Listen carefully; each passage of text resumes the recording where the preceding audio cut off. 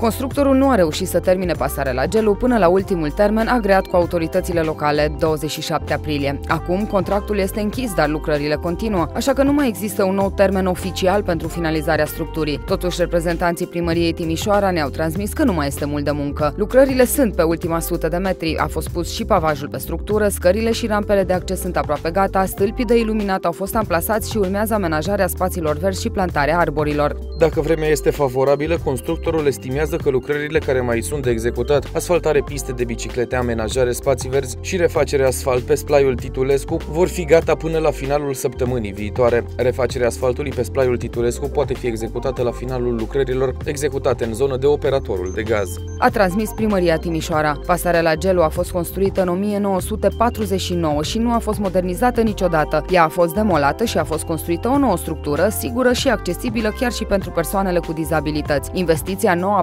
pasarela a fost de 12 milioane de lei și este suportată integral din bugetul orașului.